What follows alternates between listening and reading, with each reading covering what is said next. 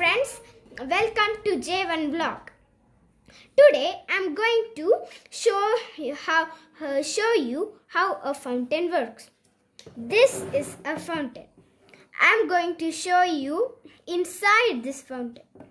Inside this fountain there will be a mini water pump, a tube connect to the water pump and a battery box this thing and a water tank this one this water hold thing water holding thing and the outlet this one.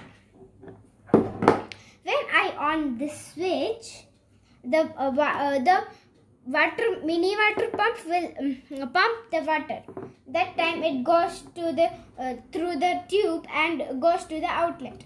That's that time it goes to the uh, it go, that time it comes to the uh, big tower and the uh, medium tower and the smallest tower.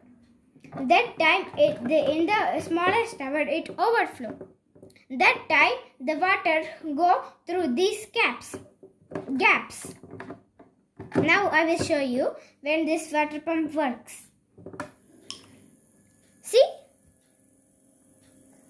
now it's uh, coming to the big tower and going to the medium tower and going uh, through the uh, and coming through the sm- uh, smallest smallest one. It's see you see it's overflow.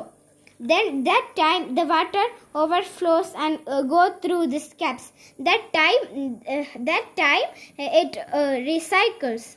That's how a fountain works i'm only showing now one type of fountain i hope you enjoy my video with don't forget to subscribe share and like with cameraman Georgie. It's me, Julia Sebastian, signing out.